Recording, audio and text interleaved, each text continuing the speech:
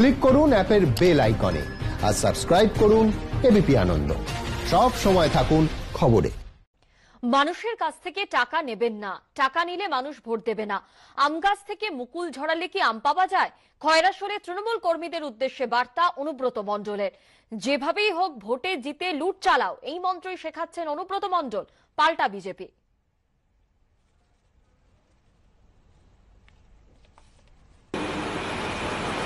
আমি যদি পাঁচ হাজার টাকা নিই, সেই মানুষটা আমাকে ভোট দেবে।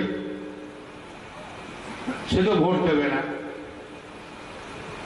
তাহলে ভোট যখন দেবে না,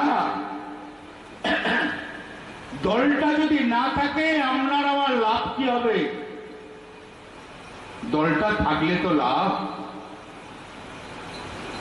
আমে মুকুল আসবে যদি ঝরিয়ে দেন, আম তো ধরবে না। তাহলে আমটা কখন খাবেন? তাহলে আমের মুকুলটা ঝরালে চলবে না, আম খেতে গেলে। আম খাওয়ার লোভ ওনার আছে। অতএব উনি তো প্রকৃত অর্থে বোঝাবার জন্য মুকুল আর আমের কথা বলেননি। উনি বলেছেন যে, যেন তেন প্রকারণে তোমরা ভোটে যেত, তারপরে আম খাও মানে আবার লুটে ফুটে খাও।